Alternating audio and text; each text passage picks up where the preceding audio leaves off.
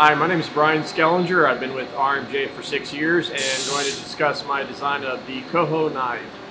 The handle is based off the Sparrow design by Charles Taylor and he was kind enough to grant me permission to base my blade off of that because it's such a comfortable, practical, and great handle to base it off of.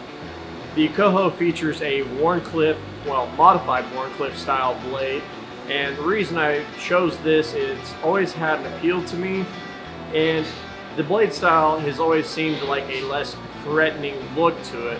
When many people see a Wharncliffe, it reminds them of the pocket knives, the slip joints that their grandparents, you know, their granddads always had on them, did wood whittling with it. It's just kind of a classic design when people pull it out, you're not gonna get that, oh, who are you gonna kill with that? You know, that you, you don't get that mentality to it.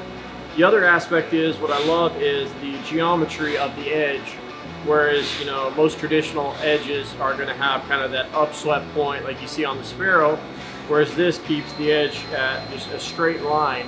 And what that allows is whenever you're cutting, as you're pulling on an object, the pressure is going to stay maintained. You're not going to kind of lose that slipping pressure towards the edge. So it's a great cutting, great cutter, great for whittling wood or just all around.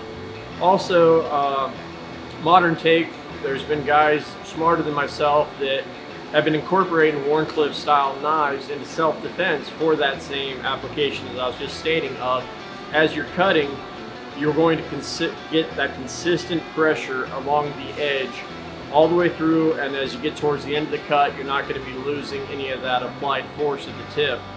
So all around it's just to me it's it's a nostalgic style blade that is still practical Great application, great for cutting.